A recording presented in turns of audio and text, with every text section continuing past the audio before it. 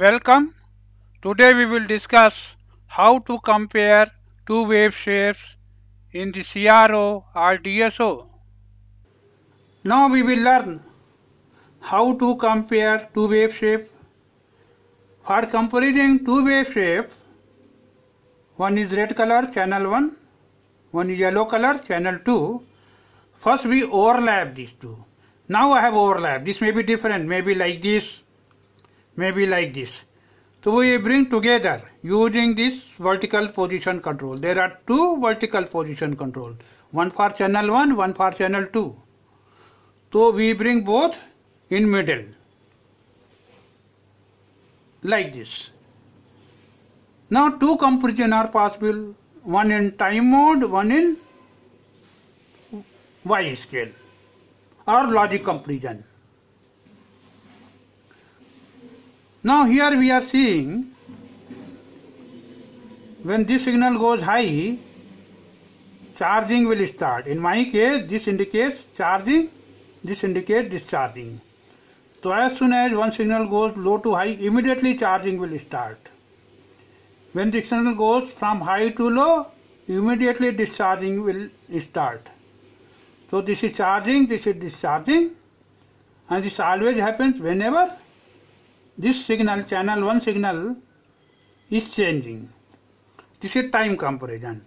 If you want more close comparison, you can expand further. You can change time scale and see more accurate.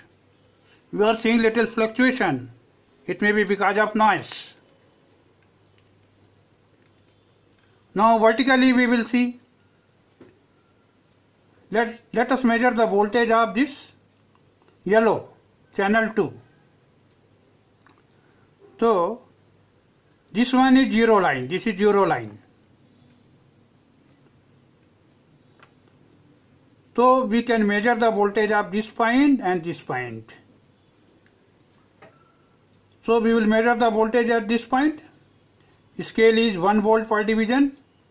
In my case, it is written here In some CRO scale may be here. Different scale will be there for both channels. So 1 volt per division means this is 1 volt. There are 5 column. So one column is 0.2 volt. So from here 1 volt, 2 volt, 2.2, 2.4, 2.6, 2. roughly 2.8 volt. We can bring at the this point of measurement using this horizontal position here in middle line. So it will be easier to measure 1 volt, 2 volt. Now you can count easily 2.2, 2.4, 2.6, 2.8 like that. Now voltage of this point we can bring this point I am shifting just to make easier to measure. You can keep anywhere. This is horizontal position control. Now voltage of this point, yellow one, this is zero line. It is 1 volt per division. So 1 volt, 2 volt, 3 volt, 4 volt, 5 volt, 5.2, 5.4, 5.6, 5.8. Like that we can measure.